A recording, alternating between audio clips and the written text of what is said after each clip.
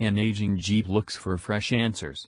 Although the Jeep brand epitomizes an important chapter of the American way of driving and has been one of the few bright spots in Fiat Chrysler portfolio in recent years, it has been losing sales on the home market for several months in a row now.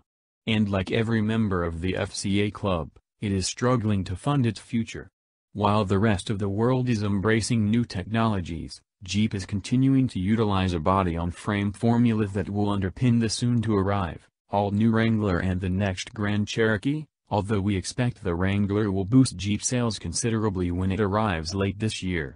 It's only thanks to the fast-growing demand in China that a V6 plug-in hybrid drivetrain with a zero-emission range of 30 miles which will later increase to 60 miles is in the making.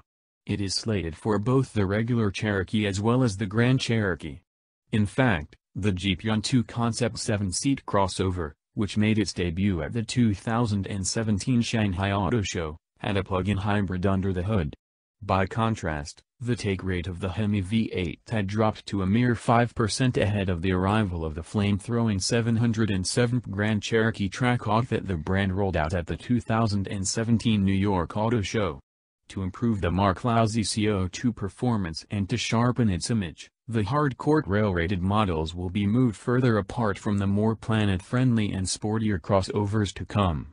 So while the Jeep brand we saw at the New York show is in some ways living in a glorified bubble of the past, the Jeep of the future will no doubt need to adapt to the coming market shift if it expects to survive in the long run.